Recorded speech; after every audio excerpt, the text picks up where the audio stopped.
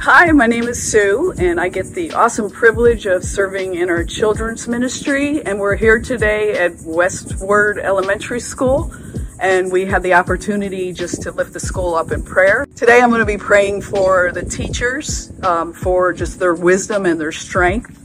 So let me go ahead and lift that up. Um, Lord, I just want to pray for our teachers. First of all, I want to pray for our teachers within within the body, Lord, those who are ministering to our kids. I just pray that you would just give them the wisdom and the strength and the patience and all the gifts of the Spirit that they need, Lord. But most importantly, your love, that you would open our eyes and our hearts just to be able to, to see these children and to, to give them the hope of the gospel, Lord. So we just pray for that special anointing upon our own teachers here at the church, Lord. And then we want to pray, Lord, for all those who are teachers within the body and those who are teachers, Lord, within this school here and the schools within Palm Beach County. And we just pray, Lord, that the great and mighty work that you are doing within our community is also, Lord, happening within these schools, that you give them an excitement, Lord, that you allow them just to go into their jobs in a place of renewed strength, a place of encouragement, a place where your grace covers them and just meets their every need, Lord.